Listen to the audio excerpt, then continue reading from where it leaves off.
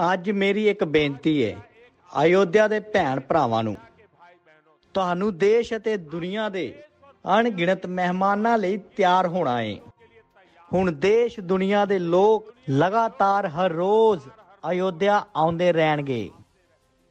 ਇਸ ਲਈ ਅਯੋਧਿਆ ਵਾਸੀਆਂ ਨੂੰ ਇੱਕ ਸੰਕਲਪ ਲੈਣਾ ਹੈ ਅਯੋਧਿਆ ਨਗਰ ਨੂੰ ਭਾਰਤ ਦਾ ਸਭ ਤੋਂ ਸਵੱਛ ਸ਼ਹਿਰ ਬਣਾਉਣ ਦਾ।